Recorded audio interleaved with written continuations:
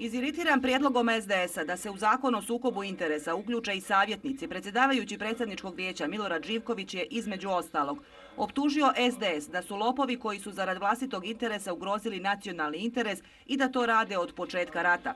Kritikovao je i kadrovsku politiku SDS-a, rekavši, citiram, uveli ste politiku da kad imenujete konja u neku instituciju, on mora biti direktor. Živković je poručio SDS-u da narod prepoznaje politiku koja je počela oružani sukob u BiH i koja se, kako je rekao, sad vraća na velika vrata, ali koja neće ponovo dobiti podršku. Živković je poručio SDS-u da narod prepoznaje politiku koja je počela oružani sukob u BiH i koja se, kako je rekao, sad vraća na velika vrata, ali koja neće ponovo dobiti podršku.